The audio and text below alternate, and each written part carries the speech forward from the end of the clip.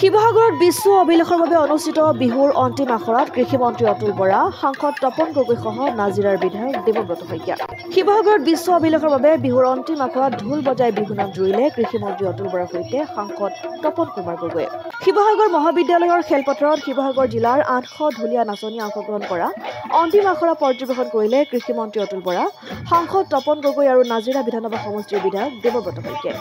অন্তিম আখৰত উপস্থিত থাকি বিহুক বিশ্ব দৰবাৰত প্ৰতিষ্ঠা কৰাৰ বাবে চৰকাৰে লোৱা পদক্ষেপক আদৰণি জনাইছো। কিন্তু ৰাজকোষ দুৰ্বল হোৱাৰ সময়ত ইমান ধন ব্যয় কৰাটো গ্ৰহণযোগ্য নহয়। চৰকাৰে এনেবোৰ কামত অধিক ধন ব্যয় কৰাৰ বাবেই ৰাইজৰ ওপৰত অত্যধিক কৰৰ বোজাত জাপি দিছে।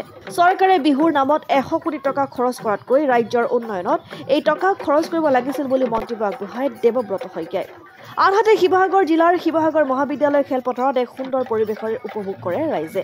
শিৱসাগৰ জিলাৰ চাৰিটা সমষ্টিৰ আঠশ ঢুলীয়া আৰু নাচনীয়ে চৈধ্য এপ্ৰিলত সৰুসজাই ষ্টেডিয়ামত বিশ্ব অভিলেখৰ বাবে ৰাজ্যখনৰ আন আন জিলাৰ ঢুলীয়া নাচনীসকলৰ সৈতে বিহু পৰিৱেশন কৰিব। যাৰ বাবে দেওবাৰে চলোৱা অন্তিম প্ৰস্তুতিত যথেষ্ট সংখ্যক ৰাইজৰ উপৰি জিলা প্ৰশাসনৰ বিষয়াসকলো উপস্থিত থাকে। শিৱসাগৰত মানে ফাইনেল ৰিহাৰ্চেল চলি আছে চৈধ্য তাৰিখ।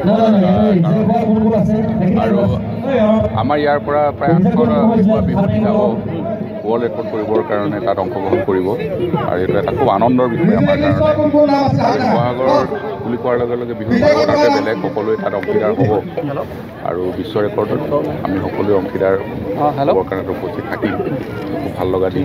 সেইকাৰণে অসম চৰকাৰক ধন্যবাদ জনাইছোঁ। মুখ্যমন্ত্ৰী মহোদয়ক ধন্যবাদ জনাইছোঁ তাৰ কাৰণে। আৰু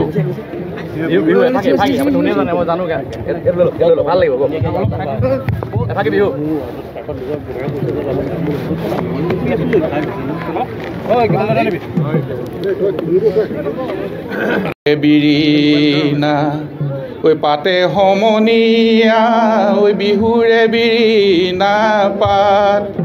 ঐ বিহু থাকে মানে বিহুকে বিনা বাট ঐ বিহু গ'লে বিনা বাকা। শিৱসাগৰৰ পৰা ছৈয়দ মুস্তাকুৰ ৰহমানৰ ৰিপৰ্ট অসম আদিত্য।